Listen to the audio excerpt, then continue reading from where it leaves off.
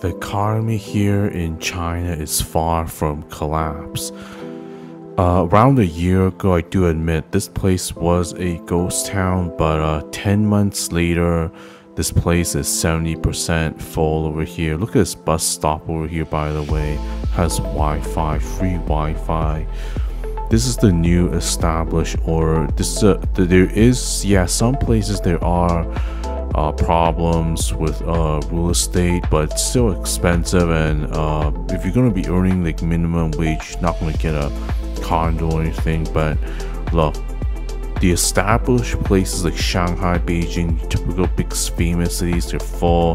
But now people are moving here to the suburbs new towns and new cities being built all over and this place is 70% full looks nice here. Look at this nice road, nice sidewalks, nice public spaces.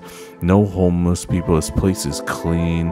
People, there's look, there's housing affordability in the established large cities are going to be a problem it's overpriced and yeah the price has gone down a little but it's not a property crash or anything.